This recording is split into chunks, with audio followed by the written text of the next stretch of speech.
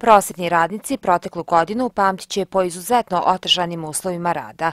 Zbog pandemije virusa korona časove su održavali putem televizijskog programa ili online. Uprkos tome nastojali su, kako kažu, da na najbolji mogući način znanje prenesu na učenike. Zato im povelje koje su dobili povodom obilježavanja Svetog Save mnogo znači. Ovo je prilika da ne kažemo da grad na neki način pokaže zahvalnost prema svim prosvetnim radnicima koji su iznijeli teret ove pandemije, a također i prema našim učenicama koji su imali još neku dodatnu obavez da se prilagode svim ovim uslovima školovanja u okviru ove pandemije posle porodice prosvetni radnik je, da kažemo, najvažnija karika u vaspitanju i odrastanju svakog e, čovjeka, svakog djeteta i nadamo se da ovo neće ostaviti posljedice u e, vaspitanju i obrazovanju naše djece. Godina je zaista i specifična i teška i za nas.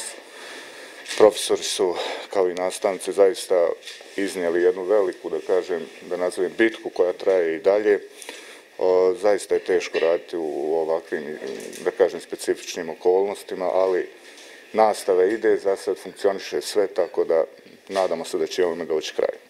Za razliku od prethodnih godina, kada su svetosavske nagrade dodjeljivane pojedincima, ove godine zbog pandemije povelje su dobile sve osnovne i srednje škole kao i predškolske ustanove. Također, izostale su svetosavske svečanosti, ali je Svetosavska akademija u videoformatu sinoć emitovana na programu televizije Prijedor.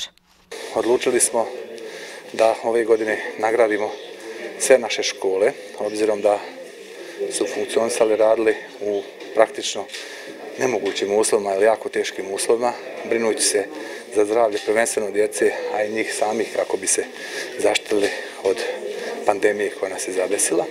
I mi jednostavno nismo imali dilemi, odlučili smo da svim školama uručimo nagradu baš iz tih razloga, a ne da izdvajamo nekoga po naosob. Pavlović je svim prosjetnim radnicima, učenicima i studentima čestitao školsku slavu Svetog Savu.